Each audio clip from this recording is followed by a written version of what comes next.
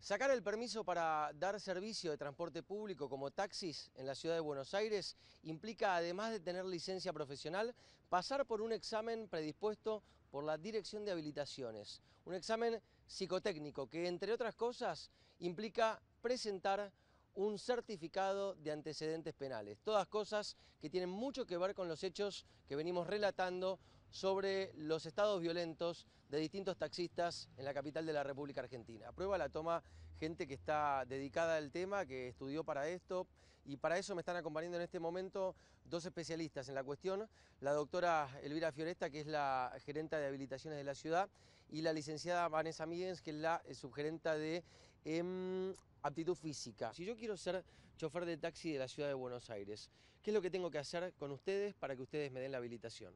Bueno, desde la Dirección eh, de Habilitación de Conductores lo primero que tenés que tener es una eh, licencia de conducir profesional, ¿no? de esa categoría eh, distintiva de, las, de los particulares, de las que no realizan transporte público de pasajeros.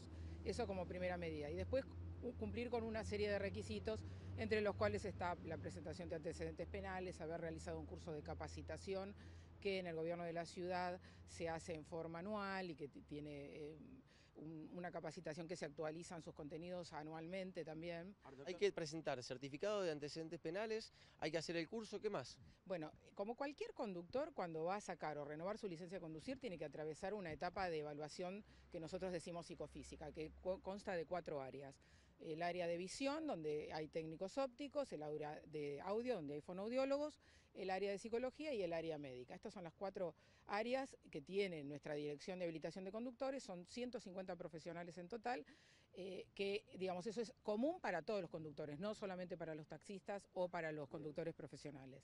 Ahora, la primera pregunta antes de ir a la cuestión física, el taxista que agrede con la marcha atrás chocándole el auto al conductor que estaba con su hijo, venía con antecedentes penales, había estado preso un año por robo y había tenido dos denuncias además por robo. ¿Cómo puede esta persona recibir el registro y ser taxista en la ciudad de Buenos Aires?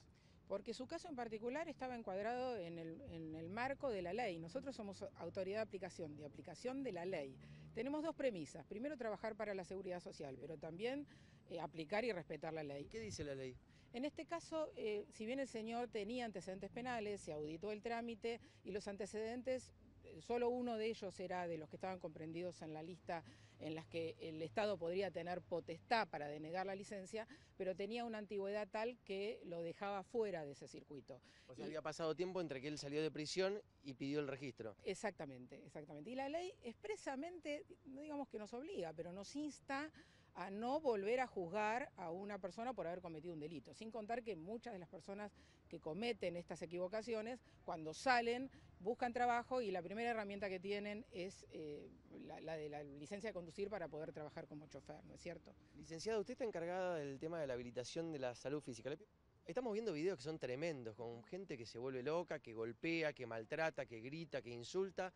¿Cómo puede ser que esta gente esté arriba de un taxi llevando a una persona por la capital de un país tan importante? Creo que la principal eh, explicación para eso es poder entender que cuando uno hace la evaluación psicofísica, específicamente en el sector de psicología, uno está evaluando a la persona como si fuera una fotografía, es decir, en el momento actual que se está haciendo la evaluación. Eh, a partir de ahí se tratan de pesquisar algunos indicadores que puedan dar cuenta de que después al salir de la calle puedan cometer estas irregularidades, digamos. Eh, nos encontramos diariamente con estas situaciones que me, está haciendo referencia y nosotros tratamos día a día de poder, poder focalizar en eso a ver qué es lo que puede eh, indicar en la conducción que pueda actuar de esa manera específicamente. Viene una persona que dice, bueno, yo fui condenado por robo, ¿La pesquisa es la misma que si viene un ciudadano común y corriente que nunca cometió un delito? ¿O uno ya pone un signo de interrogación para decir, che, pará, este ya alguna macana se mandó evidentemente?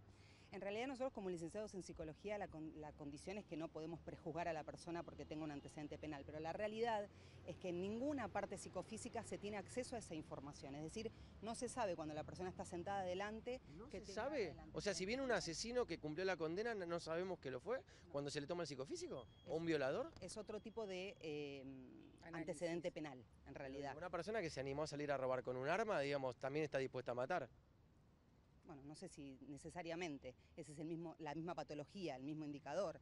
Lo que creo es que al ser otro tipo de antecedente penal, eh, seguramente los indicadores son diferentes a la hora de la evaluación. O sea que la persona que le tomó el psicofísico a este chofer o a estos choferes, sobre todo al primero de los que venimos eh, señalando, no sabía en ningún momento que esta persona venía de cuatro años de condena, eh, perdón, después de cuatro años había sido condenado por robo por uso de arma de fuego. No, no tenía acceso a esa información y algo que es sumamente importante que quiero hacer referencia es cuando uno hace la evaluación como ciudadano, es importante que también cuente la realidad de su vida, es decir, si toma una medicación o si viene de alguna situación que quiera y que le parezca que sea parte de la evaluación, es necesario que lo cuenten. En este caso no se comentó nada de esto. Estos dos choferes, al menos los que están visibilizados en los medios como agresivos, eh, generando situaciones de violencia, ¿qué va a pasar con ellos?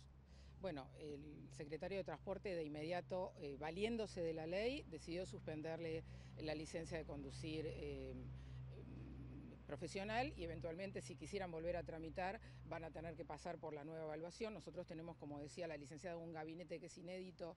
¿La gente puede volver a sacar registro para conducir taxi? Esta, gente está suspendida, obviamente en este momento no puede conducir. Si esa inhabilitación se, se levanta porque de pronto algún juez así lo dispone, y vuelve a recuperar el derecho a peticionar, que no es el derecho a tener la licencia de conducir, porque la habilitación no es un derecho. Nosotros tenemos un gabinete, como decía la, la licenciada, que es inédito y es único en todo el país, donde se hacen estudios que ahí sí duran tres horas de duración y tienen otra profundidad y nos permiten arribar a conclusiones más profundas. Bueno, gracias a las dos. Bueno, entonces la palabra autorizada de las funcionarias de la Ciudad de Buenos Aires, que son las que están a cargo del área que otorga la habilitación para que estos conductores puedan manejar un taxi. ¿Quedó claro? Hay una ley, la ley en todo caso debería ser modificada.